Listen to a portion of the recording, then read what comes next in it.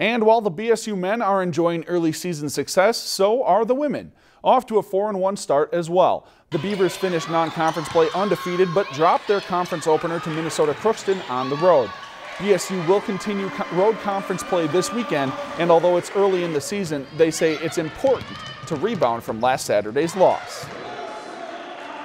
Uh, it's huge. Like, to be honest, Crookston was a team where they had one kid. I thought she single handedly could have killed us in transition. So we weren't really crashing the offensive glass because we didn't want to get beat back in transition. But that just carried over to defensively on the boards. We didn't rebound for, for a darn. We just didn't shoot very well. And, like, we're not going to shoot very well every night, but hopefully, like this coming weekend, we can just come out, sh um, shoot well, and play good D. We have to just be tougher. We have to battle. We have to get over things sooner, have that goldfish memory, and, and get to the next play.